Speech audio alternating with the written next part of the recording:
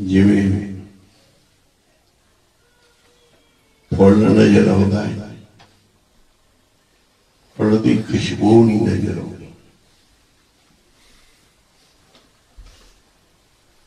Sugar ਖੰਡ ਨਜ਼ਰ ਆਉਂਦੀ ਸ਼ੱਕਰ। ਉਹਦੀ ਮਿਠਾਸ ਨਹੀਂ ਨਜ਼ਰ ਆਉਂਦੀ।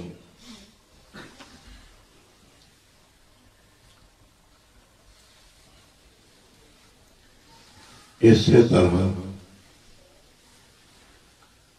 ਪਰਮਾਤਮਾ ਨਜ਼ਰ ਨਹੀਂ ਆਉਂਦਾ ਹੁਣ ਕੋਈ ਦਿਖਾਉਣਾ ਚਾਹੇ ਦਿਖਾ ਨਹੀਂ ਸਕਦਾ ਖੰਡ ਦੀ ਮਿਠਾਸ ਉਦੋਂ ਦੇਖੀ ਜਾਊ ਜਦੋਂ ਮੂੰਹ ਚ ਪਾਏਗਾ ਖਾਏਗਾ ਖੁਸ਼ਬੂ ਉਦੋਂ ਦੇਖੀ ਜਾਏਗੀ ਜਦੋਂ ਲੈ ਲਵਾਂਗੇ ਖੁਸ਼ਬੂ। ਗੁਲਾਬ ਨਜ਼ਰ ਆਉਂਦਾ ਹੈ, ਖੁਸ਼ਬੂ ਨਹੀਂ ਨਜ਼ਰ ਆਉਂਦੀ। ਇਸੇ ਤਰ੍ਹਾਂ ਪਰਮਾਤਮਾ।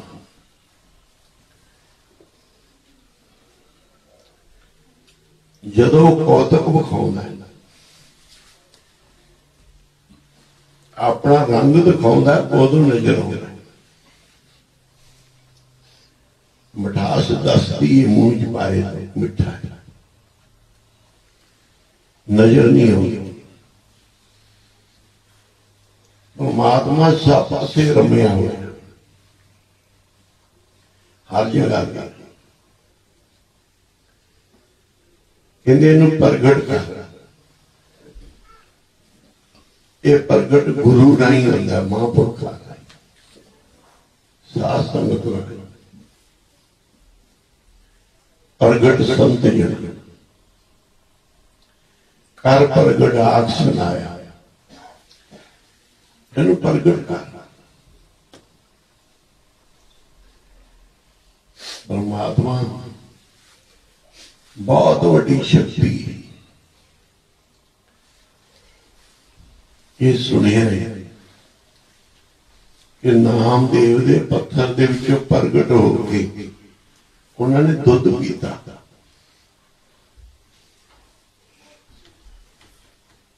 ਮੂਰਤੀ ਭਗਵਾਨ ਨਹੀਂ। ਨਾਮਦੇਵ ਜੀ ਵੀ ਕਹਿੰਦੇ ਆ। ਪਰ ਪੱਥਰ ਪਰਮੇਸ਼ਰ ਨਹੀਂ ਗਾ। ਕਹਿੰਦੇ ਜੇ ਬਾਥਰੂਮ ਵਾਲਾ ਪੱਥਰ, ਪੈਰਾਂ ਵਾਲਾ ਪੱਥਰ ਹੀ ਮੂਰਤੀ ਵਾਲਾ ਵੀ ਪੱਥਰ ਹੈ। ਜੇ ਉਹ ਵੀ ਦੇਵਾ ਤਾਂ ਉਹ ਵੀ ਦੇਵਾ। ਉਹ ਦੇਵਤਾ ਬਣ ਗਿਆ, ਇਹ ਪੱਥਰ ਪੈਰਾਂ ਵਾਲਾ। ਇੱਕ ਇਹ ਪਾਥਰ ਕੀਜੇ ਪਾਓ, ਦੂਜੇ ਪਾਥਰ ਤਰੀਏ ਪਾਓ। ਪੱਥਰ ਚ ਪਰਮੇਸ਼ਰ ਪ੍ਰਗਟ ਹੋ ਗਏ। ਤੰਨੇ ਦੇ ਵੀ ਪੱਥਰ ਦੇ ਠਾਕਰ ਵਿੱਚੋਂ। ਭਗਵਾਨ ਪ੍ਰਗਟ ਹੋ ਕੇ ਇਤਿਹਾਸ ਗਵਾਏ। ਉਹ ਮਹਾਂਪੁਰਖ ਗਵਾਏ ਜਿਨ੍ਹਾਂ ਨੇ ਉਸ ਸਮੇਂ ਸ਼ਬਦ ਵੀ ਲਿਖੇ।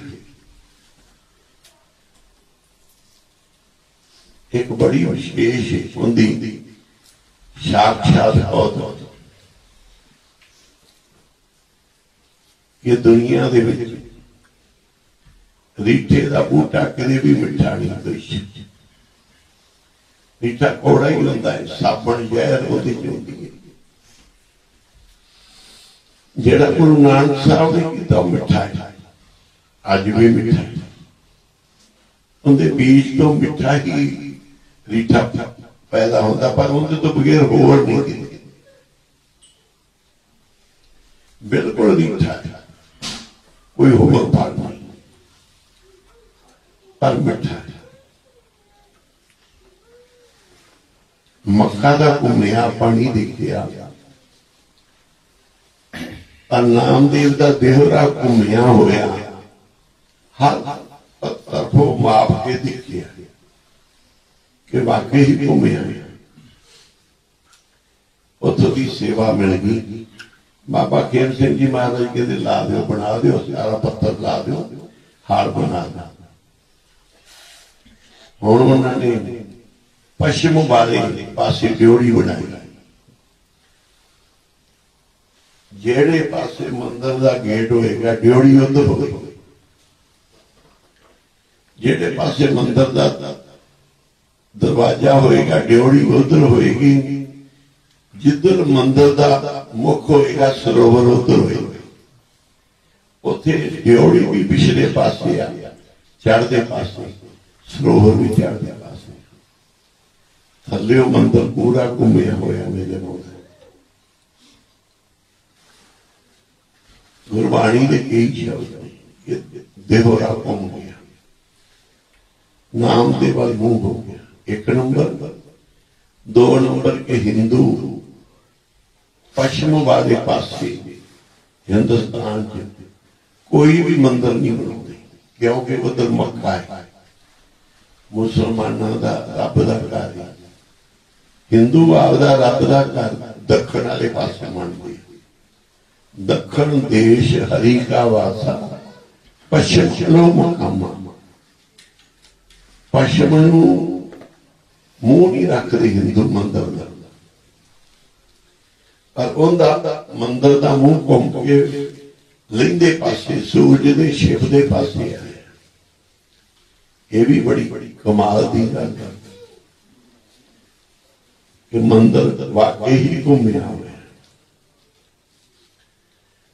ਕਿਉਂਕਿ ਬਹੁਤ ਬੜੇ ਪਰਮੇਸ਼ਰ ਸੰਤ ਬਾਬਾ ਸੁਖਦੇਵ ਸਿੰਘ ਜੀ ਸ੍ਰੀ ਪੁੱਚੋ ਸਾਹਿਬ ਵਾਲਿਆਂ ਦੀਆਂ ਹੋਰ ਵੀ ਨਵੀਆਂ ਵੀਡੀਓਜ਼ ਦੇਖਣ ਲਈ ਸਬਸਕ੍ਰਾਈਬ ਕਰੋ।